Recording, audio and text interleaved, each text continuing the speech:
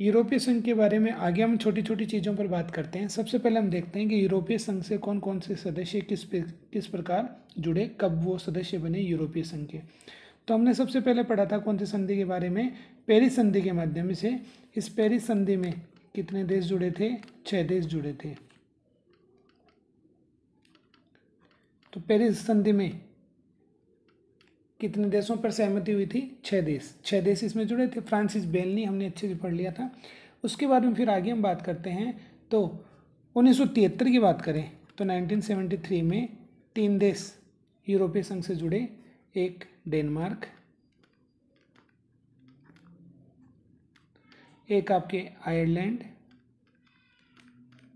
और एक था ब्रिटेन।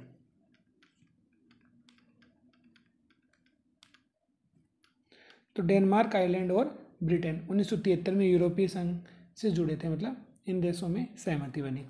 उसके बाद में फिर बात करते हैं उन्नीस सौ इक्यासी में और उन्नीस सौ इक्यासी से जो देश जुड़ा उसका नाम था यूनान। उन्नीस सौ इक्यासी के बारे में फिर बात करते हैं उन्नीस सौ छियासी में और उन्नीस सौ छियासी में एक स्पेन और दूसरा पुर्तगाल।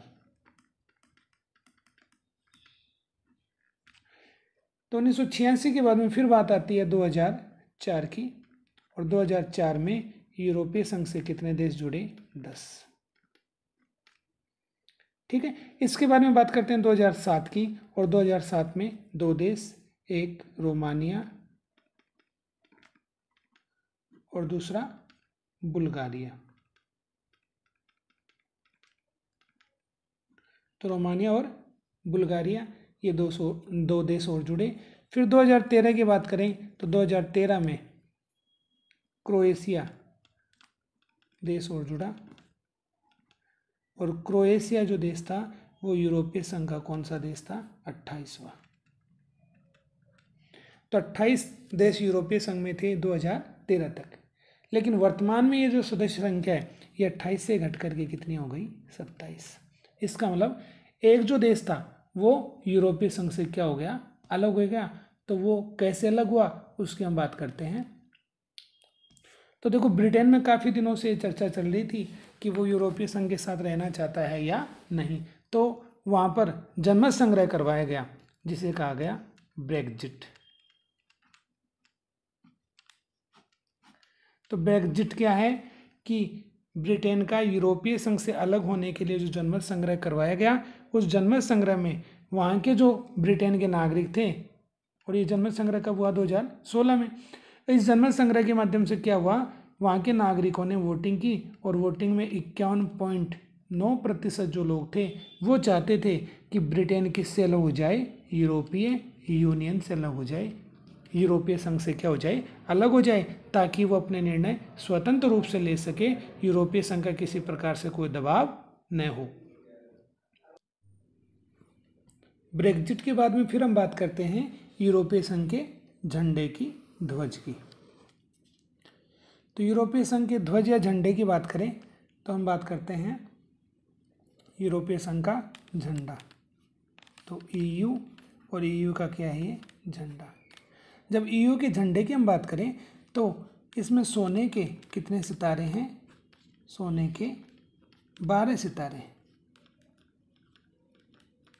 और सोने के जो बारह सितारे हैं, ये किसको दिखाते हैं? इनकी एक प्रकार से संपन्नता को दिखाते हैं। और ये जो झंडा है, किसका प्रतीक माना गया है? एक प्रकार से ये पूर्ण है तो पूर्णता का, एकता का, इनमें एकता बनी रहे, पूर्णता, एकता और समग्रता। इसका इसको क्या माना गया है? प्रतीक माना गया है। तो सोने के बारह सितारों से मिलकर के बनाए, जो पूर्णता, एकता और समग्रता का क्या है? प्रतीक।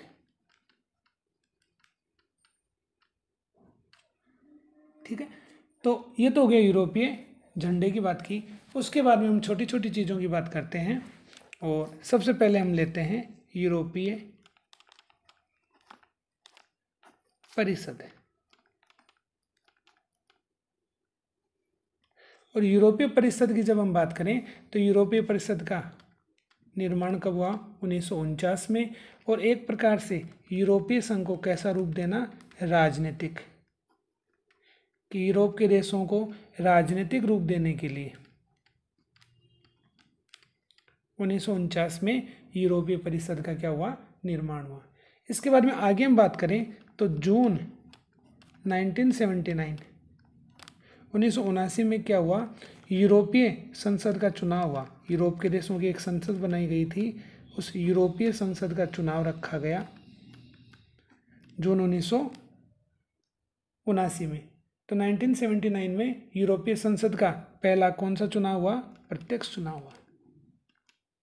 तो इम्पोर्टेंट क्वेश्चन आपके लिए कि यूरोपीय संसद का पहला प्रत्यक्ष चुनाव कब हुआ? तो 1979 में। इसके बारे में बात करें। तो 1990 में जर्मनी का एकीकरण हो गया था। तो ये मेन एग्ज़ाम में आया हुआ क्वेश्चन है कि जर्मनी का एकीकरण कब हुआ? तो जर्मनी का एकीकरण कब हुआ? 1919 में। तो 1990 1990 में जर्मनी का क्या हो गया? एकीकरण हो गया। अब 90 के बाद में फिर आगे हम बात करें, उन्नीस सौ तिरानवे में क्या हुआ? तो उन्नीस सौ तिरानवे में यूरोपीय देशों के मध्य में एक बाज़ार बनाने का प्रयास किया गया। तो यूरोपीय एकीकृत बाज़ार। तो एक ही बाज़ार बनाने का प्रयास किया गया उन्नीस सौ तिरानवे में। ये भी मेन एग्ज़ाम के लिए बड़े अच्छा क्वेश्चन बनता है और सबसे ज़्यादा इम्पोर्टेंट क्वेश्चन है, वो है एक जनवरी 2002 को लेकर। एक जनवरी 2002 को क्या हुआ? एक जनवरी 2002 को ये हुआ कि 12 देशों ने यूरो मुद्रा को अपनाया। तो हमने पढ़ा था मास्टर संधि के बारे में। तो मास्टर संधि के माध्यम से यूरो मुद्रा पर सहमति हुई थी, लेकिन इस यूरो मुद्रा को 12 देशों ने 1 जनवरी 2002 को अपनाया। मेन एग्ज़ाम में आया हुआ क्वेश्चन है और बड़ा इंपॉर्टेंट क्वेश्चन आपके लिए बनता है। फिर 2003 में एक प्रयास किया गया और वो प्रयास था एक प्रकार से साझा संविधान बनाने का। कि सभी देश जो यूरोपीय संघ से जुड़े हुए हैं, उनका एक ही संविधान हो। लेकिन इस पर सहमति नहीं बनी, इसलिए ये जो प्रस्ताव था, वो असफल हो गया, इसलिए साझा संविधान नहीं बन सका। फिर 2009 में एक प्रयास हुआ और एक संधि की गई, जिसे लिस्बन संधि कहा गया। तो पुर्तगाल में एक संधि होती है, लिस्बन संधि, और इस संधि के माध्यम से ये जो यूरोपीय संघ था, इस यूरोपीय संघ में जो भी कमियाँ थी, उन कमियों को दूर करने का क्या किया गया? प्रयास। तो ये किससे संबंधित थी? सुधारों से संबंधित थी। तो यूरोपीय संघ में जो कमियाँ थी, उनको दूर करने के लिए लिस्बन संधि की गई 2009 में, कहाँ पर? पुर्तगाल में। इस लिस्बन संधि के बारे में फिर हम बात करें तो 2012 और 2012 की जो घटना है, वो बड़ी अच्छी इंपॉर्टेंट क्वेश्चन यहाँ पर बनता है। और वो है कि शांति का नोबल पुरस्कार दिया गया। शांति का क्या दिया गया? नोबल पुरस्कार। और ये शांति का जो नोबल पुरस्कार दिया गया, वो यूरोपीय संघ को दिया गया। क्यों दिया गया? क्योंकि एक प्रकार से यूरोपीय देशों के मध्य में जो झगड़े थे, उन्हें क्या किया? दूर करने का प्रयास किया गया। तो शांति का क्या दिया गया? नोबल पुरस्कार दिया गया।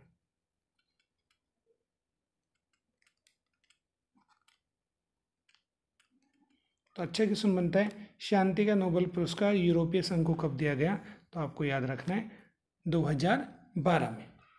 फिर शांति के नोबल पुरस्कार के बाद में हम बात करते हैं और कई छोटी छोटी चीज़ों की। एक है कि दूसरी सबसे बड़ी सेना है। तो सेकंड सबसे बड़ी सेना। ये देश ना होकर के देशों का क्या बन गया? संगठन। तो सबसे बड़ी सेना है यूरोपीय संघ के पास और वो कौन सी है? सेकंड। तो दूसरी सबसे बड़ी सेना कौन से संगठन के पास है? यूरोपीय संघ के पास। इसके बाद में फिर हम बात करते हैं। तो अंतरिक्ष के क्षेत्र में और अंतरिक्ष के साथ साथ संचार प्रौद्योगिकी।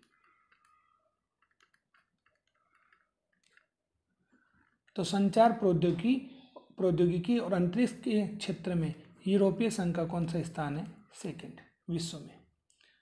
इसके बारे में फिर हम बात करें कि यूरोपीय संघ के जो दो देश, यूरोप के दो देश ऐसे हैं जिन्होंने हमेशा से एक तो मास्ट्री संधि का विरोध किया और यूरो मुद्रा का विरोध किया। तो मोबाइल में पहले जो हम कार्ड डालते थे, उसका नाम था H D. H D card बोलते थे, आजकल तो एच डी आने लग गया। तो एस डी एस का मतलब एस एक तो देश का नाम है स्वीडन और दूसरे देश का नाम है डेनमार्क। तो स्वीडन और डेनमार्क, ये दोनों दोनों जो देश थे, वो एक तो यूरो मुद्रा का विरोध कर रहे थे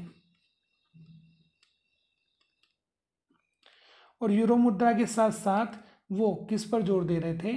वो ज़ोर दे रहे थे मास्टिस संधि पर। तो मास्टिस जो संधि थी इस संधि का भी ये विरोध कर रहे थे। इसका मतलब दोनों देश चाहते थे कि यूरोपीय संघ का अगर निर्माण होगा तो हमें यूरोपीय संघ के माध्यम से ही काम करना पड़ेगा। यूरोपीय संघ हमारे से संबंधित निर्णय लेगा। हम अपने देश से संबंधित निर्णय निर्णय नहीं ले पाएँगे। इसलिए इन्होंने एक तो यूरो मुद्रा का क्या किया? विरोध किया। और दूसरा इन्होंने वो जो यूरोपीय संघ का निर्माण हुआ था, मास्ट्री संधि का, उस संधि का भी क्या किया? विरोध किया। तो एक तो हमने पढ़ा, यूरोपीय संघ का झंडा और सोने के बारह सितारे थे, फिर यूरोपीय परिषद कब बना? तो 1949 में। इसके बाद में यूरोपीय संसद का पहला चुनाव स्टासबर्ग में यूरोपीय संसद है और 1979 में इसका पहला प्रत्यक्ष चुनाव हुआ था। 1990 में जर्मनी का एकीकरण, मेन एग्ज़ाम में आया हुआ क्वेश्चन है। तो उन्नीस सौ नब्बे में जर्मनी का क्या हो गया? एकीकरण हो गया। उन्नीस सौ तिरानवे यूरोप के देशों के मध्य में क्या करने का प्रयास किया गया? एक बाज़ार बनाने का प्रयास किया गया, एकीकृत बाज़ार। फिर जनवरी 2002 वेरी वेरी इंपॉर्टेंट क्वेश्चन है, और इसकी अगर हम बात करें तो जनवरी 2002 में 12 देशों ने यूरोपीय संघ की एक मुद्रा थी, और वो मुद्रा कौन सी थी? यूरो। इस यूरो मुद्रा को क्या किया? अपनाया। 2003 में साझा संविधान बनाने का प्रयास किया गया कि सभी देशों का एक संविधान होगा, यूरोप के देशों का, लेकिन सहमति नहीं बनी। 2009 में लिस्बन संधि के माध्यम से यूरोपीय संघ में जो कमियाँ आ रही थी, उन्हें सुधारने का प्रयास किया गया। तो सुधारों से संबंधित ये संधि थी और 2012 में शांति का नोबल पुरस्कार यूरोपीय संघ को मिला। अब सेना की बात करें तो विश्व में सेकेंड नंबर इसका आता है सेना की दृष्टि से और अंतरिक्ष और संचार प्रौद्योगिकी के क्षेत्र में भी इसका विश्व में सेकेंड नंबर आता है। और स्वीडन और डेनमार्क दो ऐसे देश हैं जिन्होंने यूरो मुद्रा का भी विरोध किया और मास्ट्री संधि का भी विरोध किया। तो ये हमने पढ़ लिया दो वीडियो के माध्यम से, यूरोपीय संघ किस प्रकार से बना और किन किन चीज़ों पर यूरोपीय संघ में सहमति बनी, किस पर सहमति नहीं बनी। अब आज के लिए आपका क्वेश्चन है, आप अच्छे से पढ़ करके मुझे ये जवाब दें कि ये जो यूरोपीय संघ आपने पढ़ा है, इस यूरोपीय संघ के संस्थापक देश कितने थे?